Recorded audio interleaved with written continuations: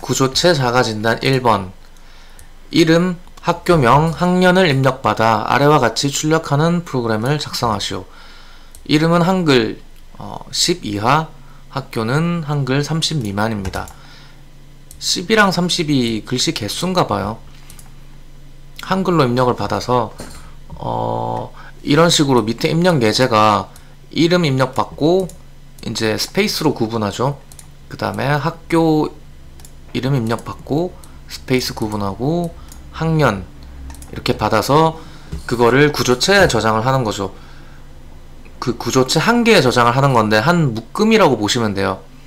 패키지 뭐 이렇게 보시면 되는데 그 패키지 안에 이름, 학교 이름 그리고 학년 이게 공통된 어, 묶여있는 정보라고 보면 되죠.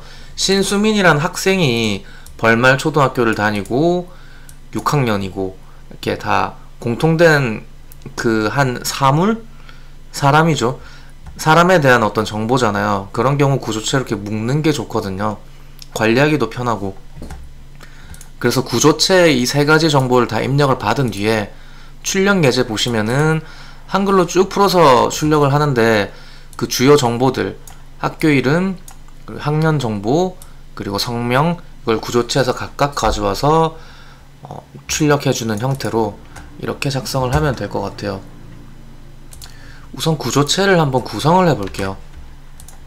구조체를 구성하실 때는 보통 메인 함수 바깥에다가 struct 음 제가 보통 쓰는 형태로 한번 해볼게요.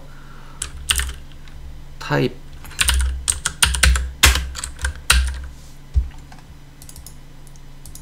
타입하고 df 붙여준 다음에 struct 해서 여기다가 이름을 뭐라고 지어볼까요?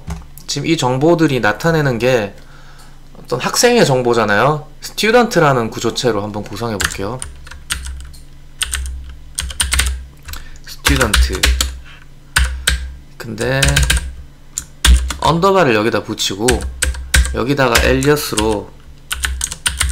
student 대문자로 하고 이거는 네이밍이기 때문에 꼭 이렇게 해주실 필요는 없는데 제가 주로 쓰는 방식을 한번 보여드릴게요. 위에는 위에 만약에 underbar를 빼버리면은 원래 이름 student랑 어, 별명으로 지어진 student가 똑같아져 버리잖아요. 그래서 이거 하나 더 붙여주는 거고요. 이렇게 했을 때 실제 여러분이 구조체를 만약에 선언을 하실 때 여기서 이렇게 선언하실 수도 있어요. struct student 여기까지 쓰면은 아 여기다가 정의한 이 구조체 형태의 어, 변수를 선언하는구나 묶여져 있는 변수들이죠. 그래서 이름은 뭐 std 1번 뭐 이런 식으로 하고 std 2번 해서 뭐 학생 1번 학생, 2번 학생 이렇게 구분해서 선언할 수도 있고요. 똑같은 방식으로 엘리어스를 쓸 수도 있어요. 위에 이름을 쓰려면 스트럭트를 항상 붙여줘야 되는데 밑에 별명 엘리어스를 쓰면은 그냥 student std 1번 평소 우리 변수 뭐 int 캐릭터 선언하듯이 이렇게 하나만 쓰면 되니까 더 간편하죠. 이렇게 선언을 할 수도 있어요. 그냥 방법의 차이고 취향에 따라서 이제 쓰시면 되는데 보통 이런 엘리어스 쓰는 방법을 많이들 하시거든요. 코드가 깔끔해져요. 이렇게 하면은. 그리고 여기에 또 뭐 쓰이는 방법이 또 더 있긴 한데 포인터 붙여가지고 뭐 또 하나의 또 다른 엘리어스를 또 해주는 것도 있는데 그거는 이제 다음번에 어, 설명을 드리는 걸로 하고. 자 다시 문제로 돌아와서 이름, 학교명, 학년 변수 3개를 이 패키지 안에 넣을 거예요 구조체 안에. 이름은 한글 10개 이하. 그러면은 문자열이니까 캐릭터로 하고 이름이니까 name으로 해서 음 한글은 한글은 2바이트씩이니까 열, 한글 열자나 넣으려면은 20개 해야 될 것 같은데요. 학교는 학교 school school하고 60개 한글 30글자 미만이라고 했으니까 한글은 2바이트씩이니까 60개 정도 해주고 학년 정보는 숫자잖아요. int로 해도 되고 네 int로 합시다 그냥. 학년. grade. grade라고 해볼게요. 여기다가 뭐 주석도 달아도 괜찮겠네요. 이름. 학교. 학년. 누가 봐도 지금 어, 학생에 대한 정보죠 학생 정보를 담는 구조체 정의. 네. 그래서 구조체 정의를 다 했어요. 이렇게 정의를 해주시면 되고 어, 제가 주로 쓰는 방식이죠. 이렇게 타입 df 한 다음에 struct 해주고 이름 지정해주고 안에 변수 쭉 선언한 다음에 마지막에 엘리어스 지정해주고 저는 보통 엘리어스 이용해서 이렇게 선언해서 사용을 하죠 이거는 지금 구조체 형태를 설계해 줬을 뿐이지 그 실제로 어 메모리에 잡히고 뭐 그런 건 아니거든요 여기 메인 함수에서 실제 변수 선언을 딱 하는 순간 이 형태로 메모리에 잡힌다라고 보시면 돼요. 학생 한 명만 할 거니까 1번, 2번 빼고 std 하나로 이렇게 선언하고 자 그래서 구조체 이제 선언까 정의도 했고 선언도 했고요. 입력을 받아볼게요. 이름부터 입력을 받으면은 네 시언어예요. 스캔F로 받으면 되겠죠. 스캔F %s로 받아서 여기서 이제 std가 이 구조체를 의미하는 변수라는 건 알겠는데 그 std 안에 name에다가 지금 넣을 거잖아요 그 안에 또 name이란 변수가 있으니까 이걸 어떻게 표현하냐면 여기다가 점을 하시, 점을 딱 붙여주면 자동 완성 지금 생기죠. 자동 완성해서 name이라는 변수 이렇게 고르실 수가 있는 거죠. 그러면은 std라는 이 구조체 묶음에서 점 그 안에 있는 name이라는 변수 안에 어, 이름을 저장하겠다 라고 보시면 되죠 싱송123님께서 구조체는 전역 함수처럼 다른 함수에서 쓸수 있나요? 어, 이게 약간 개념이 헷갈리실 수 있는데 이 정의된 거는 지금 설계도면이에요 설계도면은 어느 함수에서나 같이 공유할 수 있는 거고 실제로 메인 함수 중괄호 이 열리고 닫히는 중괄호 내에서 구조체를 선언한 거죠. 그 설계 도면대로 찍어져 나와서 태어난 거예요. 태어난 이 녀석은 다른 데서 함부로 쓸 수가 없죠. 여기 안에 귀속되는 지역 변수예요. 근데 만약에 여러분이 이거를 여기서 지금 선언해버리죠. 그러면은 얘는 전역 변수 구조체가 되는 거예요.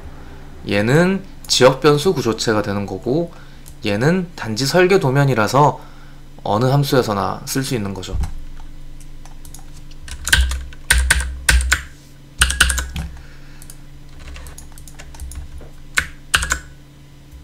네네. 남잔데 여케임님께서 커마 리급 따야 되는데 책상인데 무슨 소린지 모르겠다고요. 자 그래서 이름 입력 받았고 어, 입력 받은 거 정확하게 받아졌는지 출력 한번 해볼게요. %s 해서 출력할 때도 std.name 이렇게 해주면 되겠죠.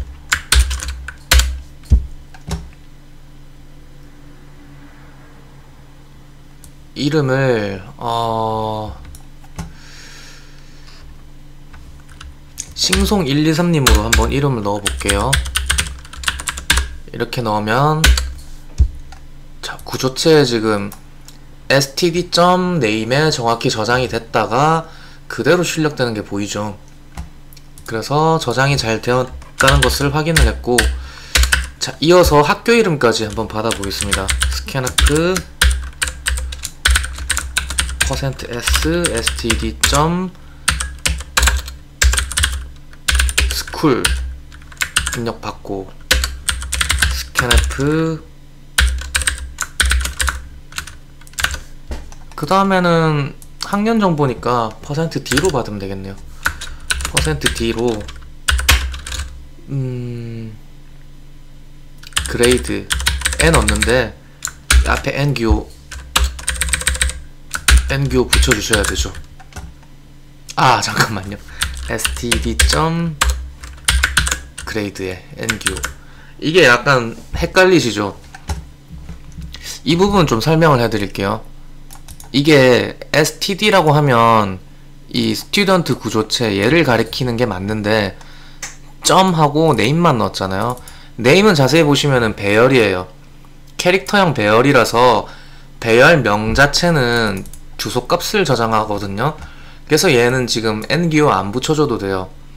그런데 school 같은 경우도 보면은 캐릭터형 배열이죠. 배열명을 이렇게 명시해 놓으면은 주소값을 가지기 때문에 and 안 붙여줘도 되는데 grade는 그냥 integer형 변수잖아요. 그래서 어, 주소값을 표현해 주기 위해서 and 기호를 붙여 주셔야 돼요. 이게 구조체는 앞에 std하고 점 이거 붙은 거 빼고 나머지는 평소 하던 거랑 똑같아요. 그래서 스캔F 받을 때 조금 헷갈리겠지만 네, 이 정도 주의하셔서 써주시면 될 것 같고 바로 이 결과 출력해 볼게요 이렇게. 결과가 벌말 초등학교 6학년에 재학 중인 신수민입니다. 이렇게 퍼센트 %s 퍼센트 %d 학년에 재학 중인 퍼센트 %s입니다. 치환할 거거든요. 퍼센트 %s, 퍼센트 %d 이 부분에 실제 변수의 값들로 채울 거예요. 그래서 지금 틀만 출력하기 위한 틀만 지금 좀 만들고 있는데 다시 확인해 볼게요. 벌말 초등학교 6학년에 퍼센트 %s, 퍼센트 %d 학년에 재학 중인 퍼센트 %s입니다. 점이 네, 마지막에 마침표 점이 들어가고 그리고 보기 좋게 엔터도 하나 넣어주고 여기다가 제일 앞에는 초등학교 이름 말하니까 std.school 하면 되고 그 다음은 학년 std.grade 해주고 마지막은 이름 std.name 네 이렇게 해주면 되겠네요 김용준님 반갑습니다. 자, 한번 실행해 볼까요? 예제 똑같이 넣어 볼게요. 신수민 벌말 초등학교 띄우고 6. 자, 결과가 벌말 초등학교 6학년에 재학 중인 신수민입니다. 네, 정확히 똑같이 결과가 나왔죠. 구조체에 넣어서 이제 출력했을 뿐이지 뭐 별 큰 차이점이 없어요. 평소에 저희가 변수 쓰던 거랑. 자, 바로 한번 제출해 보겠습니다. 구조체 정의까지 다 같이 제출해야겠죠. C 언어 제출